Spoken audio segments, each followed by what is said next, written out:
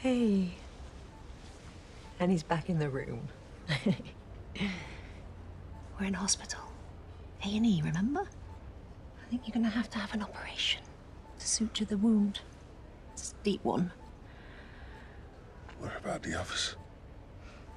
David and Victoria made it. I've seen David in the um, corridor and he's okay. And Victoria's getting treatment, so. Thank goodness.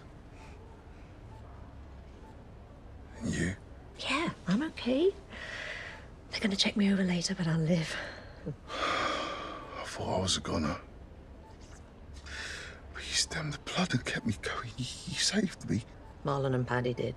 They're the real heroes.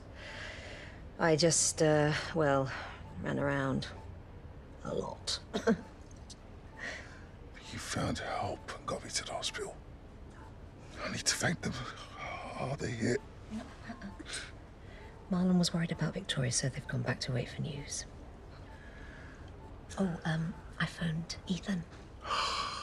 Thank you. I need to speak to Andrea. Hmm. Well, you need to rest. She'll be worried. Well, I'll, I'll call Meena, okay? Ask her to find her and tell her you're here.